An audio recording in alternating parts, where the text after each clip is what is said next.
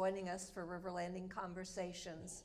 I'm here today with my co-host, Jim Kalaki, and we have our special guest, Jimmy Plowden. Welcome, Jimmy. Thank you. You're welcome. So, can you tell us just a little bit about your life path, about how you have come from birth to eventually be here? Well, I was born in Sumter, South Carolina. My father um, was an insurance salesman. My mother was a fifth grade teacher. I, um, she taught for a while, and then um, she got pregnant with me, and my father didn't want her to teach while I was a young boy. Um, as you can tell, I was, well, my mother never would say I was a mistake. She always said I was a last minute thought. but you know, when, when your birthday is June the 19th and your mother turns 45 on, on August the 4th, you were not part of Planned Parenthood. so, um, anyway, I have two older brothers. My oldest brother's deceased. He um, is a, was a retired Air Force man. He was a, retired as a brigadier general. He, uh, my next brother is, he is 87 and is essentially dying now of Parkinson's disease in Rock Hill, South Carolina. And um, that's essentially who my family consisted of. Have lots of great aunts and uncles, all of whom are deceased. I'm sort of my brother and I, sort of the last of the Last of the line. of the lot, right? What was it like growing up in Sumter? Well, Sumter was a small town, and um, um, I, I, had a good life in Sumter, South Carolina. I then went on to college uh, at the University of South Carolina in Columbia. Um, applied to medical school the first time, did not get in. Went to work for the State Board of Health, worked in the um, virology lab for three years, and decided chest, test tubes were not my way of wanting to live my life. So I applied to medical school again and got in. So I went to medical school in 1969 and graduated in 1973. And my father said, Praise God, that boy's going to work. and I said, No, Daddy, I want to be an internist. And so I moved to, um, from Charleston, South Carolina, where I went to medical school, to Augusta, Georgia, and did my internal medicine training for three years. And then Daddy thought, oh, he's, he, now he's going to work. Well, no, Daddy, I want to be an oncologist. So um, then um, I moved to Atlanta and did a two-year oncology fellowship, and um, then moved to High Point after that with two guys that I actually trained with. They were interns when I was a second-year resident. So they had two more years of internal medicine to do, and I had my two years of oncology to do in Atlanta. So we all came out at the same time, and we all had worked well together and decided that we wanted to work together. And I actually signed a contract to go to Gastonia. And Nelson Pollock had decided he was coming to High Point. And he and I just kept talking and kept saying it's a shame we can't work together. And anyway, to make a long story short, he said, if you'll come to High Point with me and look, I'll go to Gastonia with you and look. So we did. We spent a weekend here. We spent a weekend in Gastonia. Um, had a wonderful time out. There's a surgeon, his name's Tommy Knipe in High Point, and with he and a wonderful party of doctors at, his home. And just fell in love with High Point, and Gastonia was very kind to me and said that they had rather me not come. They did not want an unhappy oncologist in their community. So they let me out of my contract and to High Point. where you were a happy oncologist. Well, I have been. I have been a happy oncologist. The thing that was sort of crazy is that the three of us, you know, we had been used in training, you do all these things, and you know, you do paracenteses, and you do thoracenteses, and you do bone marrows, and, and you do spinal taps, and all of a sudden we came to town and we realized, well, you know, as a spinal tap, you charge a dollar for it. I mean, we had no idea about running the front part. We knew how to take care of people in the back, but we had no idea of what to do with the front of the office. So Nelson Pollock and I took off a week and went and spent in Atlanta, Georgia, with this group of, I don't remember the name of them now, but people that basically taught young doctors how to not only the size of your exam rooms, but what things were currently worth in your area, what, what a spinal tap should go for, and what this should go for. And so that's sort of the way we got on our feet, Interesting. um, which was pretty stupid, to be perfectly honest. Yeah. There were groups of doctors that were sort of betting we wouldn't make it, but somehow, through the grace of God, we did make it. And um, Has that changed in, in medical training now, that there's, there is a sort of how to run a business section of like courses or things? well, when we came through, there was nothing like that. Yeah, The only thing that they cared about when we were in medical school, did you know how to take care of the people in the back? And as far as the running of the front of the office, nothing was ever told about that. We were never told anything. I, I think, I, I have no proof of this, but I think if we'd all been told more about what our lives would be like, like, you know, you pick to be an internist, well, you're on call all the time. The phone rings day, night, weekend. Whereas, you know, you, you, nothing against my dermatology friends, but, you know, there are not many emergency pimples in this world, you know? yes, Um, so, you know, the phone doesn't ring and they get a good night's rest. And, but, you know, you're never taught any of that sort of stuff. You're just taught about what you think you like and what you think you would like to spend your life doing. And then you get out in the real world and you learn what your real life's gonna be like. Um, which in some ways was a shock. Of course, medicine's changed so totally now Yeah. um, compared to at least the way it was when we came through. and is that, has the training changed in terms of, um, you know, what to expect? Well, Or- you know, when, when we trained, um, you know, you went to work and you left work when your work was through. Mhm. Well, you know, now they, they're certain, you can only spend so many hours on the floor, and then you have to leave. Um, it just wasn't true back in our day. And, you know, the wards, particularly every, um, out of every year, like, uh, of the three years of internal medicine I did, you're given four months of wards, and those are just horrific times in your life. You're on call every third night. That meant you went to work one morning at seven o'clock and you worked that night, you worked all the next day until your work was completed, and you went home and you died. And for sleep, I mean, you literally Yes, died. But you, um, then you had a night off, and then you started that whole thing over. So those months of wards were just really hard on us. That's not allowed anymore. Um, A little bit more humane.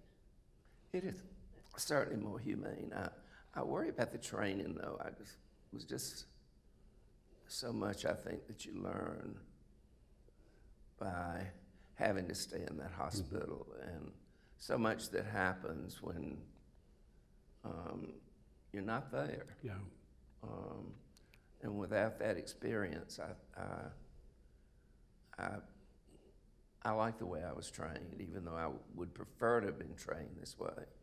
I think we were trained quite well back in our day. when you think of High Point in, when you came there and into the seventies and stuff like that, um, what are some highlights or fond memories that you have of?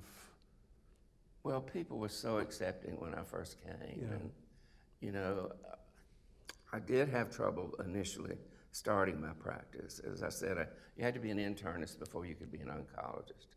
So when I first came, most of the cancer patients were, um, you know, they were already farmed out to oncologists, and most of them didn't want to change.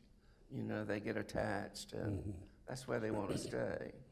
So for a while, I had to use my internal medicine training to make a living. So um, it took me probably a year and a half before I was able to switch over and do nothing but oncology. Probably the biggest shock was to, um, you know, of course, the hospital wasn't set up for me.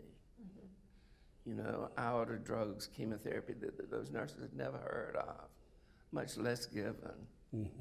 Um, I remember the first time I ordered, it was a lady, dear, dear lady with breast cancer, and I ordered Cytoxan methotrexate and 5-FU for her. Well, you would have thought I had written arsenic and several other drugs to be given to the ladies, to the lady. The nurses were just horrified. And um, of course, that particular day, I had to go over there and give those drugs myself because they just wouldn't give them. They were afraid of them. And slowly but surely, the hospital sort of caught on to the fact that being an oncologist, um, I guess the biggest thing I brought to High Point was all of those oncology patients that were, were farmed out. You have to realize all those scans, all that blood work, all those x-rays, all of those things were also leaving High Point. They weren't coming to our hospital.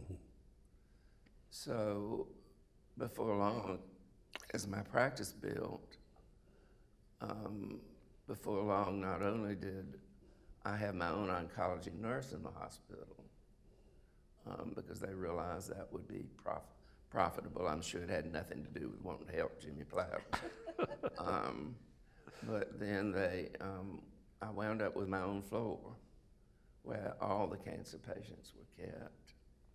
And um, of course, then in the, in the cancer center was built. Did you end up having to do a lot of the training initially to bring people on on what they were needed to do? Well, you know, back when I first came, there was no such thing as an oncology nurse.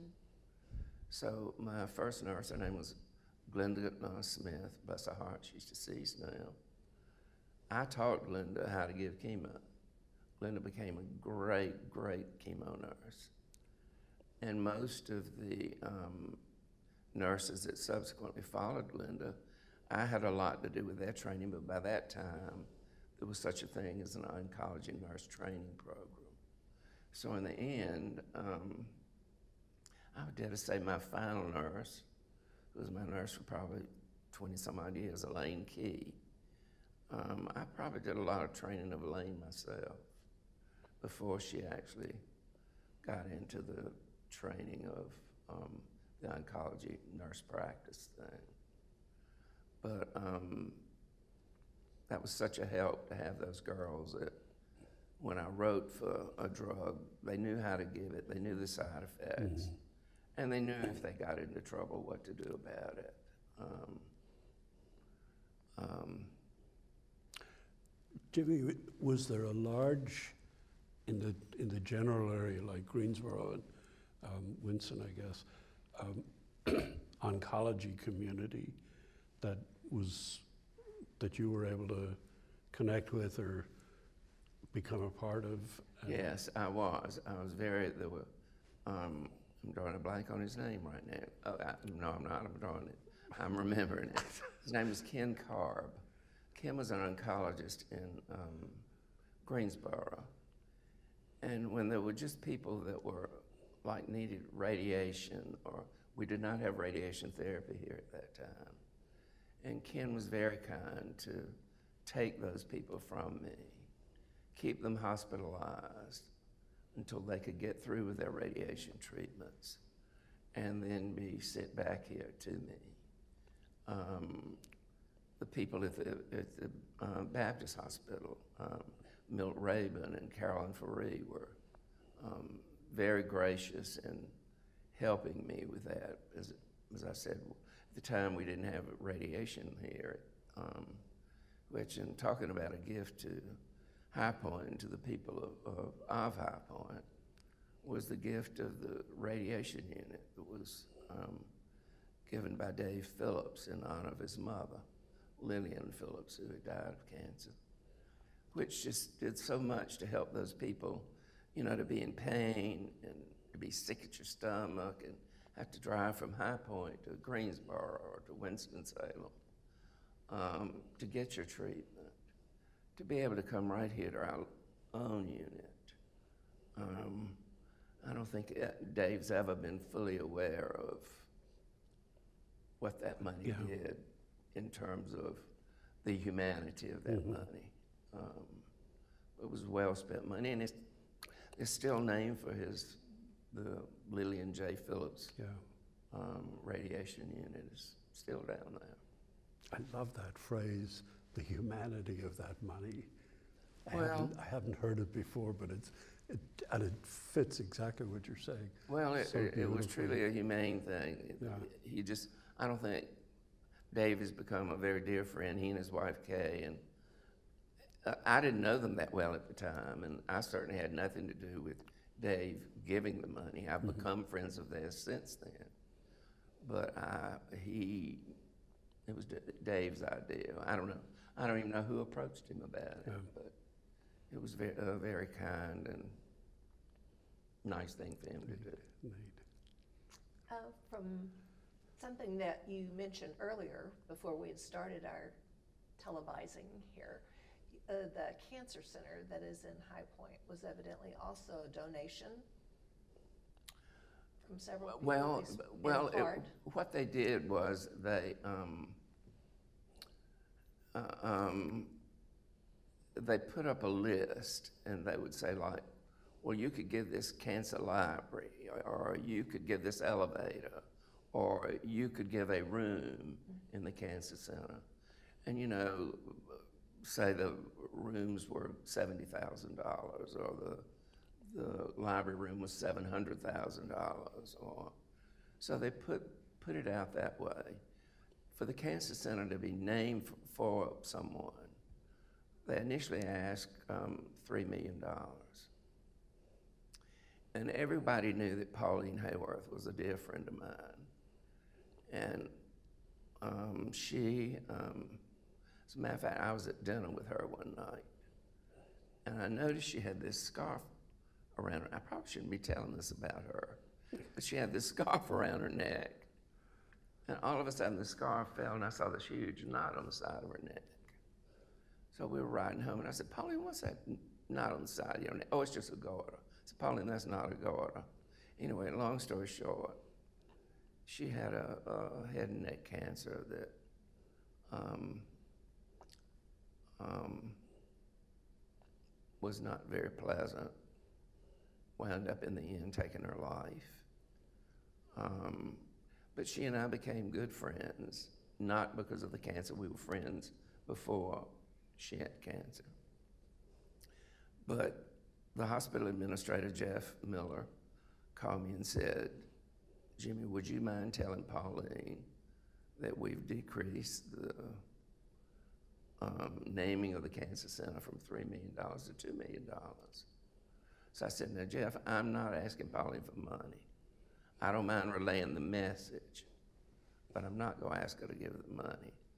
So I did relay the money to uh, the, what they had said, and of course she decided she was going to give the money. And I'm sure if you're familiar with High Point, particularly High Point University, there's a lot of Hayworth names out there on those buildings and things.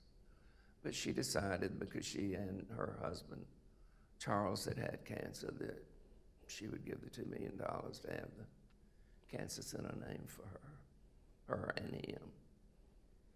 Seems like a community of people who will really expend their energies in, High Point Talents. really is great about taking care of its own and about raising money and getting things done to, to help people. It's, um, it's been a great place to live.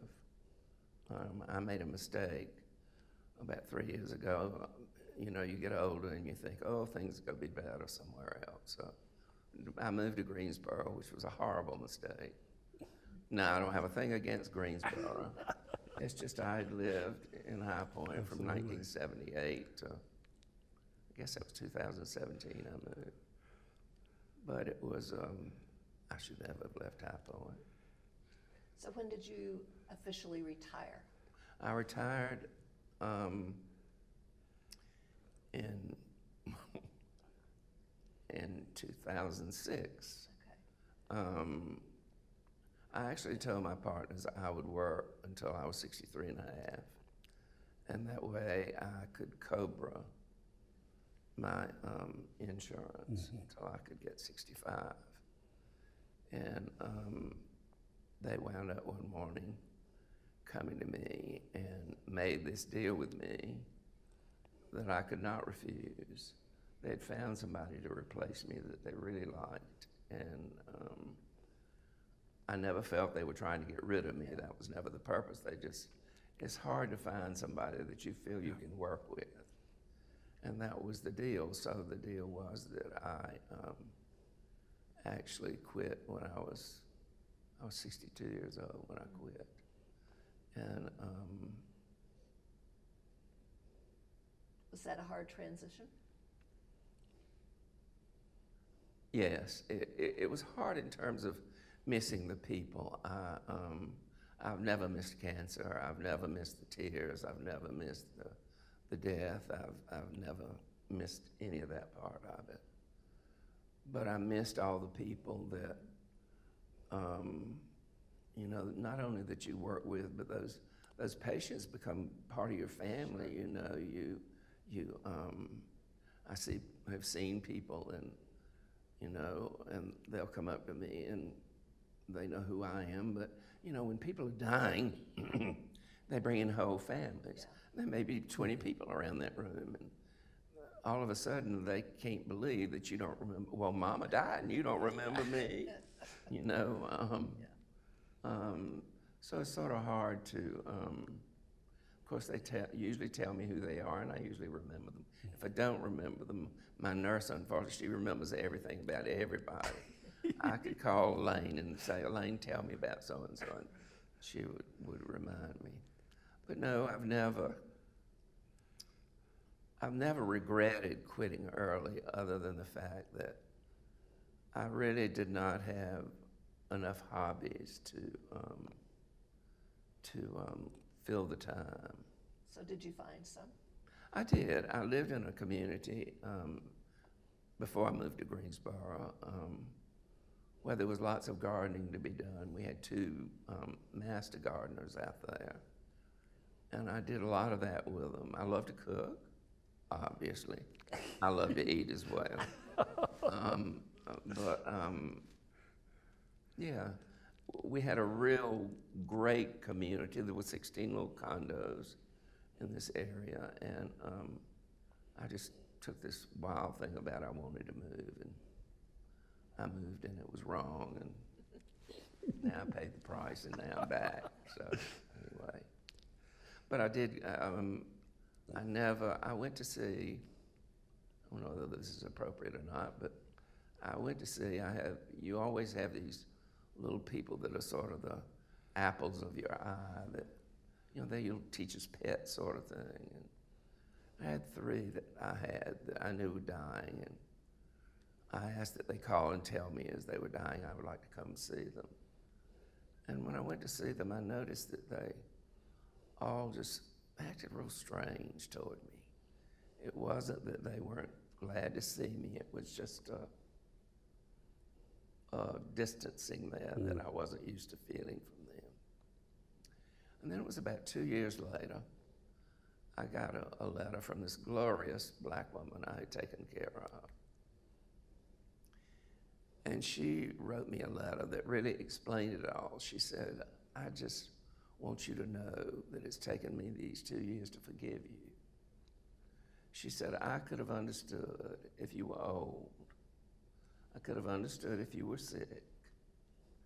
But for you to quit and not have anything else to do other than to take care of us, I just want you to know I've forgiven you for it. Wow. So I think it really, after going and seeing those three, I never went to see another one after that. Mm-hmm.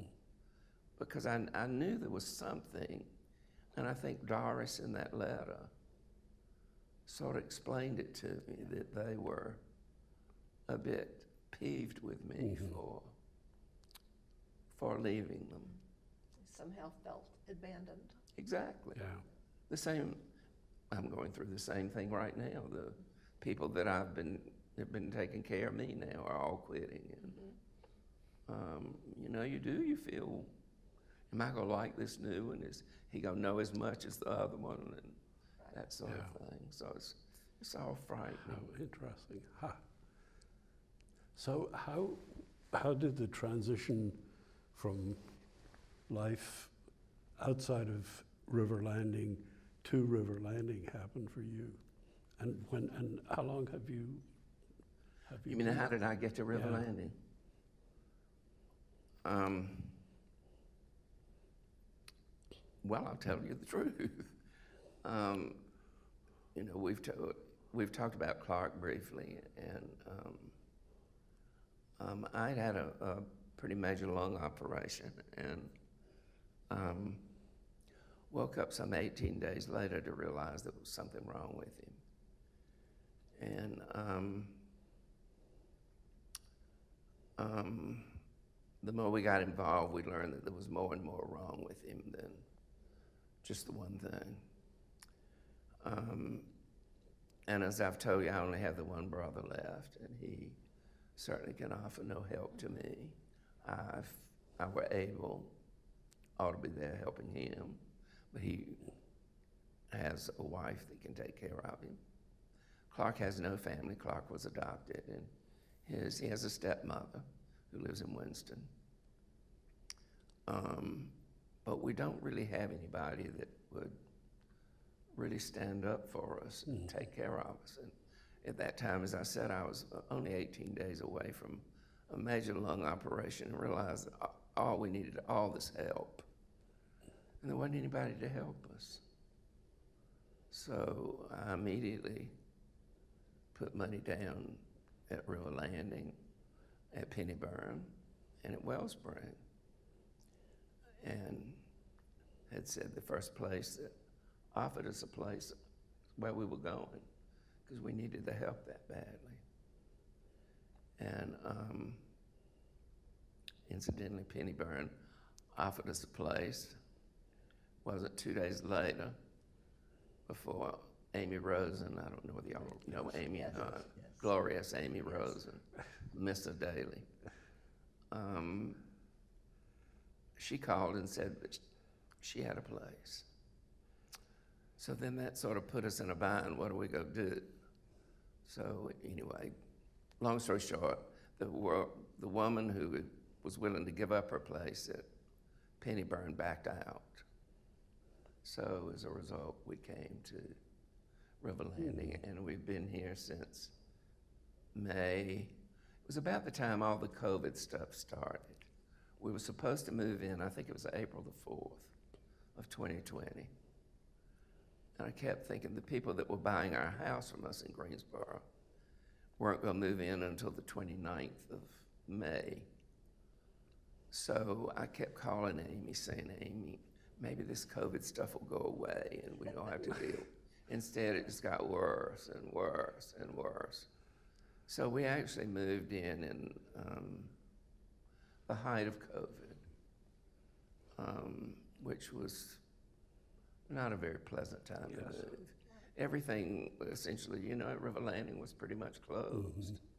So in terms of just having an apartment that we lived in that, um, that we stayed in for two weeks, the only thing they told us we could do, we could walk the dogs four times a day to the very end of the road and back. So um, it was uh, not a very good transition, to be honest. Indeed, indeed. Um, but it would have been the same thing had we gone to Pennyburn, had we gone to Wellspring, you know. But we just knew that we needed the help. We, we're more than grateful to be here now and um, enjoying it. So it's taken an upswing. It has. Good, It has. When, when we moved, it was, it was not so much of an upswing. It was a, uh, it was a matter of necessity as well as we felt like we were in prison for two solid weeks Yes, yes. you know, without being able to get out. And we, of course, still had stuff left in our house over in Greensboro, and we couldn't get out to do anything about it until those two weeks were over. So um, there we were in that apartment with nothing but boxes and um, And dogs. and dogs. And dogs. They always enjoy though. No, that they they they were the joys. They were the joys. Jimmy, if there, if you think of maybe about three people in all of time, and if all the boring details were taken care of, and you could have a chat with them, who who might they be, and why? You're talking about my patients? You mean? No, no, just well, anyone in the sweep of history. From beginning of time to. Oh, I knew you were going to ask me that, Yeah. and I didn't. Um, you know, I know everybody expects you to say somebody like JFK or or Jesus or. I guess number one would be my mother. Um, you know, my mother lived the last eight years of her life essentially as a, a little birdling in a nest. Um, they'd put food down her mouth and her mouth would open. And that was about the way she lived the last eight years. I'd love to talk to her about, because so much of that time when I was in training before her Alzheimer's came about, I wasn't really able to spend much time with her. Um, You know, I'm crazy about famous people. Fame fascinates me. Um, I think this lady's quite controversial, but I think she's beautiful. I love to see her. I have seen her one time. Um, but I think she did a lot of good for what she did. Her name's Elizabeth Taylor. Um, as a matter of fact, you know, I collect things that, that belong to famous people, and I fortunately bought something from her collection when they sold it. But she did a lot for what she believed in. She did a lot for AIDS. She made AIDS acceptable. She made AIDS a real disease, and um, that people aren't to be fragmented and put in cells and um, kept away. Um, who would be a third one?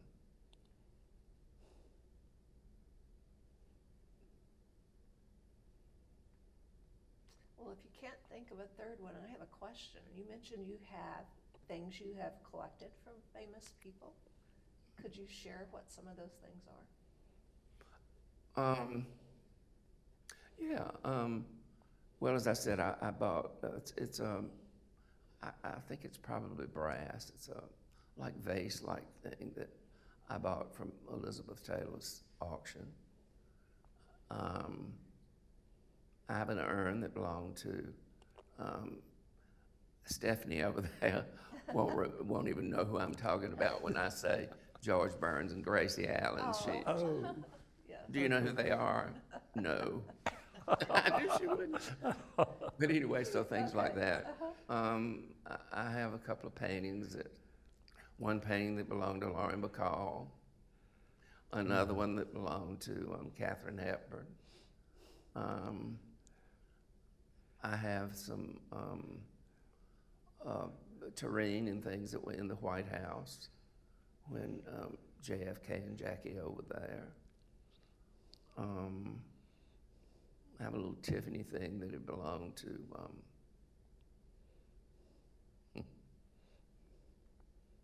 there I go.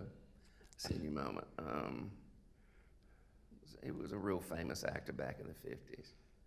Um, I had a ring that I was so proud of that actually got stolen in my move here. Um, it had been a ring that belonged to Clark Gable. Clark Gable and Lana Turner were having an affair during their um, um, making of their fourth movie. And um, I actually have the picture of them dancing with Clark Gable wear, wearing the ring. But that got missing in my move here. Um, I- I don't have that much. It's just, Interesting it's just Yeah. Yeah, little things that say, I- to me, it just sort of fascinates me about, wonder who all has been around that particular Uh-huh. place. Yes, What particular per, group of people have been around. Or if that, if that vase could talk. Absolutely. Could tell me some Yes. stories that, that went on beyond these things, but, um, um, I guess another person that, I- that I, as I said, I love performers. Um, I love to talk to Diana Ross. Um, I've heard she's, um, not one of God's nicer human beings. Um, as a matter of fact, I, hope it's okay for me to tell this. I have a friend that lives in New York, and he um, happened to be having lunch at a table next to her. And he knew that I loved her, and so he asked the waiter, he said, Would you mind asking her for an autograph for him? And the waiter's response was, I'd rather ask a rattlesnake. anyway, long story short about that was that uh, Gus happened to be going in the men's room and coming out of the men's room, and Diana Ross was coming out of the ladies' room. And he just said, Excuse me, Miss Ross. He said, He told a lie. He said, I have a friend that's real sick. He said, well, He just loves you. Would you sign an autograph for him? And she said, Well, I don't have any paper. And then she turned around and said, Well, if you come to the desk with me, I'll sign it for you. So he said she could not have been nicer. And she wrote this thing, it just says to Jimmy Plowden Diana Ross. Um, but said she talked about North Carolina and how she loved the mountains of North Carolina and how one day that she had planned to actually own a home in the mountains of North Carolina. Anyway, that's enough about Diana Ross. so is Motown some of your favorite music? Oh, absolutely, absolutely. You know, I've, you know, Gladys Knight has been twice over at the Tanger Center. I've been twice to see her. Um, you know, all of the, the, the divas, the the Aretha Franklins, the Dionne Warwicks, the Patti LaBelle's, all those. Um, that's my kind of music. Um, you know, the Four Tops, the Temptations Yep. all of those people, you know, I, I, I don't understand rap. Um, so um, you can mark that off my list. Okay. Probably most of ours. Absolutely, absolutely. Well, Jimmy, thank you so much for being here and sharing your story and some of the history of medicine developing here in High Point. And um, we really appreciate your time. And I hope that all of you listening will tune out, ne- tune in next week and join us for another edition of River Landing Conversations. Thank you.